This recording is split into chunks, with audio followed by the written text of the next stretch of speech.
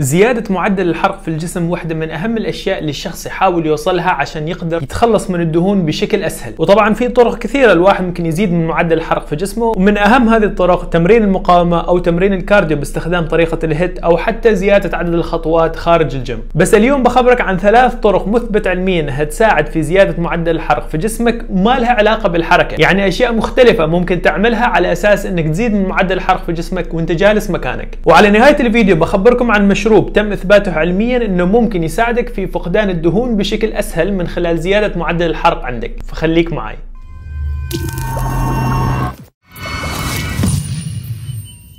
يعطيكم العافية. coach محمود معاكم مرخص من المؤسسة الدولية لعلوم الرياضة وموجود هنا عشان أساعدك تبني العضل وتفقد الدهون. فإذا كان هذا الشيء يهمك لا تنسى أنك تعمل subscribe للقناة عشان ما يفوتك أي جديد. كثير من الناس تحسب أن معدل الحرق عندها في جسمها بطيء وعشان كذا ما جالسة تفقد الوزن. بس هذا الشيء ما صحيح. غالبية الناس اللي يعتقدوا هالشيء أساسا تكون حركتهم قليلة وبالتالي جسمهم ما يستهلك سعرات حرارية كثيرة خلال اليوم وبالتالي يعانوا من ثبات أو زيادة بالوزن. بس غير عن الحركة خلال اليوم في طرق أخرى ممكن تساعدك في زيادة معدل الحرق في جسمك وراح أخبرك عن ثلاثة منها الحين. الطريقة الأولى هي إنك تاكل بروتين أكثر. دراسة في سنة 2014 شافت إنه الجسم يستهلك 30% من السعرات اللي تم أكلها من البروتين بس عشان يهضم البروتين. يعني إذا أنت أكلت 25 جرام بروتين واللي هو في 100 سعرة حرارية الجسم راح يمتص فقط 70 سعرة حرارية. أما ال 30 الأخرى فالجسم يستخدمهم عشان يهضم البروتين نفسه. أما بخصوص الكربوهيدرات والدهون فما لهم نفس هذا التأثير لأن الجسم يستهلك فقط 5% من سعراتهم عشان يهضمهم. يعني إذا أكلت 25 جرام كربوهيدرات جسمك راح يمتص 95 سعرة حرارية ويستهلك فقط 5 عشان يهضم ال carb. وبالتالي لازم البروتين يكون موجود في تغذيتك. ولا تقول لي وصلت سعرات الحرارية وما جالس اضعف لا لازم توصل سعراتك الحرارية ولازم توصل احتياجك من البروتين. وكقاعدة عامة للناس اللي تمارس تمارين المقاومة ذكرت وأعيد أذكر إنه البروتين كمية كافية تكون لما الواحد ياخذ 2 إلى 2.2 جرام لكل كيلوغرام من وزن الجسم. أما إذا عدم تمرين المقاومة فممكن حتى إنك تاخذ 1.6 جرام من البروتين لكل كيلوغرام من وزن جسمك. الطريقة الثانية يمكن هي الطريقة اللي راح تفاجئك وهي شرب الماء. دراسة في سنة 2003 جابت 14 شخص سبعة رجال وسبعة نساء وخلتهم يشربوا 500 ملي من الماء وبعدها قاسوا معدل الحرق عندهم لمدة ساعة. والدراسة شافت إنه معدل الحرق عندهم ارتفع بنسبة 30% خلال هذه الساعة من شرب الماء. واستخلصت إنه شرب الماء ممكن يساعد في زيادة معدل حرق الجسم. وهذا الشيء أكدته دراسة ثانية في سنة 2007 شافت إنه شرب 500 ملي من الماء يساعد في زيادة معدل الحرق بنسبة 24% خلال ساعة من شرب الماء. بس دراسة أخرى في سنة 2006 على نفس الموضوع ما شافت نفس النتيجة وشافت أن الجسم يحرق فقط 4.5% أكثر لما يشرب 500 ملي من الماء البارد. فعلى كل هذه الدراسات أنت ما راح تخسر شيء لو تشرب كمية ماء كافية لاحتياج جسمك بحيث أنها تكون من 2 إلى 3 لتر. وبشكل عام أفضل طريقة أن الواحد يعرف أنه يشرب كمية ماء كافية أو لا هي من خلال لون البول وأنت بكرامة. إذا كان لون البول شفاف أو أصفر فاتح فمعناته أن جسمك رطب وفيه كمية سوائل كافية. أما لو بدأ اللون يصير أغمق فهذا معناته أنك محتاج تشرب ماء خلي في بالك أنه هذه الفائدة للماء ما معناته تروح تفرط في شرب الماء. ما معناته كل دقيقة وثانية شارب 500 ملي لأن الإفراط في شرب الماء ممكن يسبب لك مشاكل أنت في غنى عنها. فكل شيء باعتدال. الطريقة الثالثة اللي ممكن أنك تزيد فيها معدل الحرق في جسمك هي النوم الكافي. دراسة في سنة 2010 راجعت عدة دراسات عن النوم وشافت أنه قلة النوم تأثر على الجسم من خلال طريقتين. الطريقة الأولى هي أنها تزيد من هرمونات الجوع عندك بحيث تحس باستمرار إن الشهية عندك مرتفعة وتروح تاكل حتى لو أنت ما جوعان. وبالتالي هذا الشيء يخليك تأخذ سعرات حرارية أكثر من احتياجك وبالتالي وزنك يزيد. والطريقة الثانية اللي ممكن قلة النوم تأثر فيها عليك هي إنها تنقص من قدرة جسمك على التعامل مع الكربوهيدرات وبالتالي الإنسولين اللي يتم فرزه لما تاكل الكربوهيدرات يكون أكثر. وهذا الشيء لما تكون تغذيتك أكثر من احتياجك يساعد أكثر في تخزين الدهون. وفي عدة دراسات أخرى شافت إنه قلة النوم ممكن تأثر سلبيا في الأداء الرياضي. بحيث إنه أدائك في الرياضة بغض النظر عن نوعها يصير مستواها أقل. ولما مستوى وشدة الرياضة اللي تلعبهم يصير أقل كمية السعرات الحرارية اللي جسمك يستهلكها تكون أقل. وهذا معناته إن عملية الحرق عندك ممكن تبطأ بسبب قلة النوم. فكم كمية النوم الكافية؟ طبعا من 7 إلى 8 ساعات يعتبر شيء مناسب. بس نفس الدراسة هذه شافت إنه لما النوم يكون أكثر عن الاحتياج ممكن أيضا يؤدي إلى هذه الأشياء السلبية. فالتوازن مرة أخرى شيء مهم. وأخيرا أنتقل إلى المشروب اللي تم إثباته علميا إنه ممكن يساعدك بالفعل في إنك تزيد من معدل الحرق. هذا المشروب هو الشاي الأخضر. دراسة في سنة 2009 راجعت 11 دراسة مختلفة عن شرب الشاي الأخضر وشافت إنه شرب الشاي الأخضر ممكن يساعد في إنه ينزل الوزن أو حتى إنه يحافظ عليه من الزيادة بشرط إنه أكلك ما يزيد عن العادة. يعني إذا أنت متعود تاكل 2500 سعرة حرارية ووزنك ثابت شرب الشاي الأخضر ممكن إنه يساعدك ينزل وزنك شيء بسيط جدا بشرط إنك ما تزيد عن 2500 سعرة. والدراسة هذه نفسها شافت إنه الفائدة فقط للناس اللي أجسامهم ما متعودة على الكافيين. يعني الناس اللي متعودين هم يشربوا قهوة باستمرار والكافيين ما يأثر عليهم ما راح يستفيدوا بقدر الناس اللي ما يشربوا كافيين بكثرة ويشربوا فقط القهوة في بعض الأحيان. ودراسة أخرى في سنة 2011 نفس الشيء راجعت عدة دراسات عن موضوع الشاي الأخضر وسرعة معدل الحرق. وشافت أنه مستخلص الشاي الأخضر اللي يحتوي على مادة اسمها ال EGCG موجودة في الشاي الأخضر يساعد في زيادة معدل الحرق للجسم مرة ثانية للناس اللي أجسامها ما متعودة على الكافيين. فكم هي الجرعة الفعالة من شاي الأخضر؟ اللي شافوه في الدراسات أنه 400 ملي جرام من ال EGCG تعتبر كمية مناسبة عشان تشوف هذه النتائج. وهذه الكمية موجودة تقريبا في ثمان أكواب من الشاي الأخضر. بس خلي بالك مرة ثانية الإفراط في شرب الشاي الأخضر ممكن يكون له تأثيرات سلبية كبيرة على جسمك منها التسمم فلا تشرب أكثر من كوب في المرة الواحدة. خلي بين الكوب والثاني وقت يفصلهم. وإذا خذيت مكمل ال E GCG كمستخلص في حبة لا تزيد عن ال 400 ملي جرام وحاول إنك توزع الجرعة خلال اليوم. في النهاية كل هذه النصائح اللي خبرتك إياها ما راح تفرق معك ابدا وما راح تشوف منها أي نتيجة إذا أنت تغذيتك ما تعرفها وما حاسبها. فإذا أنت تغذيتك عشوائية وبس إنك تاكل أكل صحي بدون ما تحسب السعرات بدون ما تحسب البروتين وغيره تيجي تطبق هذه الأمور ما راح تشوف نتيجة ابدا. أما لو أنت حاسب تغذيتك وتعرف كم احتياجك وتعرف إنك جالس تاكل أقل من احتياجك بشكل دقيق هذيك الساعة هذه التكنيكات كلها اللي ذكرتها في هذا الفيديو ممكن تفرق معاك ولكن شيء بسيط لا تتوقع نتيجة سحرية. فطبعا